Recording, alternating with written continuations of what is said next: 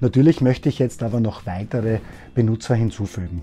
Also meine Freundin, meinen Sohn, die alle wollen das auch öffnen. Das geht ganz einfach.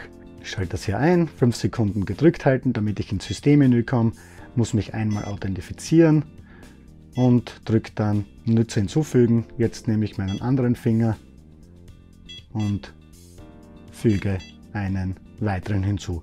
Gleich werden wir sehen, dass wir jetzt einen neuen Nutzer haben mit der ID 4. Diese IDs, die sind ganz wichtig, damit man später Zugriffsbeschränkungen machen kann und das halt dementsprechend in der App ähm, konfigurieren kann. Zur App, da kommen wir jetzt gleich dann. Dann zeige ich euch, wie das funktioniert. Hinzufügen von RFID-Karten. Wir drücken wieder, wir gehen wieder in das Menü und wir wollen hier jetzt RFID hinzufügen.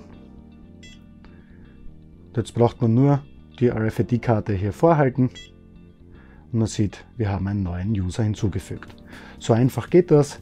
Jetzt können wir noch einen weiteren gleich hinzufügen.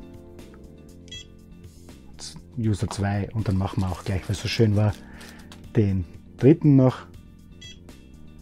Ja, jetzt haben wir unsere drei Karten hinzugefügt. Voll cool. Jetzt kann ich natürlich gleich mit meiner RFID-Karte das Schloss schon sperren und entsperren. Aufgesperrt. Es dreht sich jetzt mit, der Zylinder. Kann es zusperren. Man muss es immer zuerst aktivieren. Karte drauf.